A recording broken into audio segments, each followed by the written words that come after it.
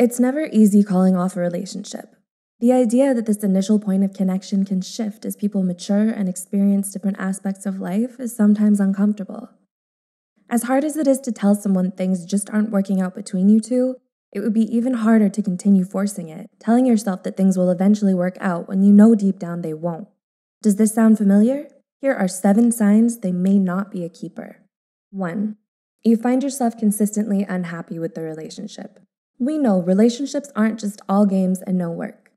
But if it's constant work without fulfillment, then is it really the right one for you? Happiness is not an emotion that can be felt on a consistent basis. As humans, we experience bad days, drama, and disagreements. But no one should ever make you feel like you have to satisfy your partner's needs, or that your partner isn't helping you satisfy your own desires or ambitions.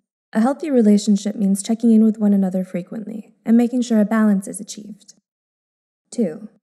You hold a toxic dynamic with your partner.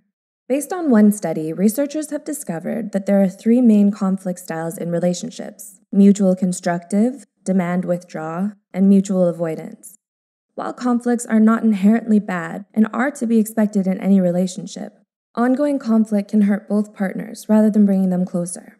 The mutual constructive style strengthens the relationship when both partners can only express what is bothering them as they work together to find a solution Toxic conflict dynamics, however, lie within the styles of demand withdraw and mutual avoidance.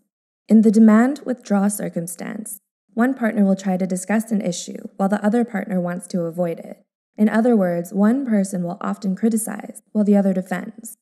As for mutual avoidance, both partners will avoid conflict and choose not to express their true feelings. When this happens, there will always be this underlying feeling that makes all the happy moments feel less genuine the feeling that there's some other issue that hasn't been confronted.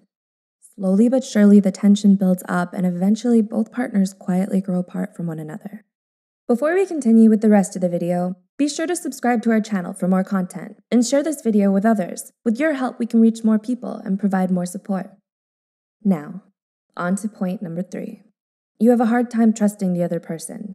It's one thing to have trust issues due to trauma or a bad childhood, but it's another thing to put your heart on the line only to experience letdowns one after the other.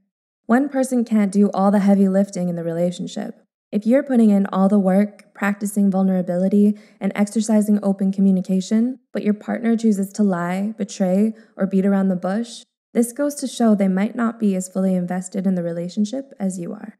We hope you're enjoying this video so far, and we want to quickly introduce you to our new Psy mascot that we're creating here. For those of you who have been watching for a long time, you may recognize the name. Isn't he cute? Okay, back to it. 4. They only see your ideal self, not you. Who doesn't fantasize about meeting someone who gets all of your dad jokes or being with a great conversationalist? But over time, as you continue to date someone, imagination will fade as you replace them with real life experiences.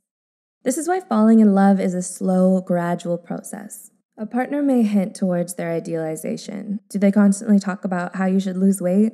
Or that you should pick up a certain hobby because it'd be so attractive? Or compare you with their friend's partner? Blah, probably not a keeper.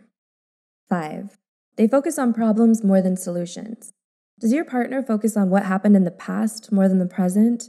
Or they forgive you only to bring up that thing that you did to them when you have a future argument? Relationships take time, space, and collaborative efforts to flourish. But if you feel like your partner is holding on to the past more than trying to understand how to make things work and move forward, it might be time to adjust this and ask them where the both of you are headed. 6. They test you constantly. You're probably familiar with the concept of testing, whether you've done it plenty in school, for your license, or nailing a job interview. Life, in fact, is a series of tests in itself, and you may have to work harder on some days to find your willpower. In a stable relationship, your partner is meant to give you a safe space where you can be yourself. If they insist, however, on making you feel like you have to earn their love, not only can it be manipulative, but abusive. 7. Your values don't align with theirs. Take a good, hard look at your partner. And no, I don't mean observing the brands they wear or the haircut they might have just gotten. I mean, really look within them. Do they want the same things as you in life? Or have similar priorities? Values are different from hobbies and interests, where they're more fixed. If you want to focus more on your career, but they want to settle down already and have kids, this may cause friction more than fulfillment. It's always a good idea to have these talks to make sure you and your partner are on the same page. And we just want to say thank you for being an ever supporting fan of our channel. We really appreciate the Psy community we've built together. If you haven't yet, be sure to subscribe to our channel for more content. Comment below and let us know what was the time when you realized a partner wasn't the one. And be sure to check out our video we did on the opposite signs that they are a keeper. And as always, thanks for watching.